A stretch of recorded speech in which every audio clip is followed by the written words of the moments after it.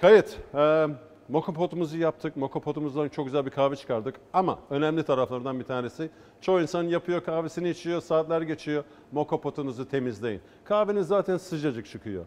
2-3 dakika içinde bu temizlenir. Önemli bir şey. Sıcak olacak. Onu da yani biliyorsunuz söylemeye gerek yok. Bir bezen tutun, üstünü açın. Elinizi yakmamaya çalışın. Önemli taraflarından bir tanesi. Kahve bunun içinden çok çabuk çıkartmanız lazım. Yoksa filtrenize yavaş yavaş geçtiği için tıkayabilir uzun zamanda. Bunu tabii e, lavaboya koymuyoruz. Lavabo mu diyoruz buna tabii. Lavaboya koymuyoruz. Musluğunuzun içini, musluğunuzu değil, altını tıkayabilirsiniz. Onun için bunu elinizden çıkartın. Sıcak olabilir, dikkat edelim. Bu çöpe gidiyor tabii. Ee, çiçeklerinize de koyabilirsiniz, bahçenize de koyabilirsiniz.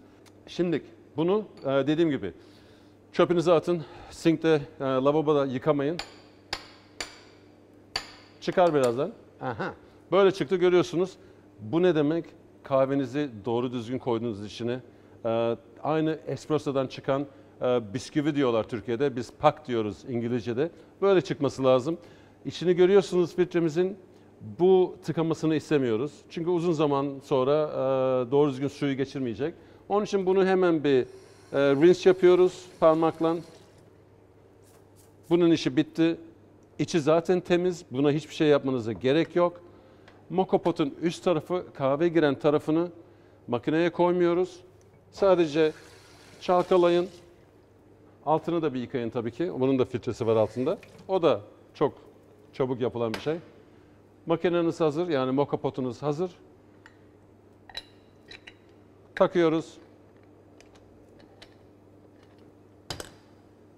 İkinci kahvemiz için hazır bekliyor. Bu kadar. Çok güzeldir. İçin için. Haftada bir kilo kahve için. Mokopotumuzu temizledik.